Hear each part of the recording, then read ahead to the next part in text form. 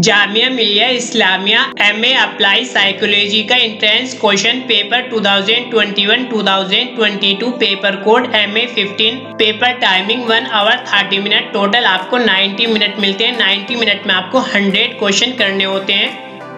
100 multiply choice question होते हैं। One question one marks का होता है। टोटल 100 क्वेश्चन होते हैं। 100 मार्क्स के आपको ए एम आर सीट जो है फिल करनी होती है।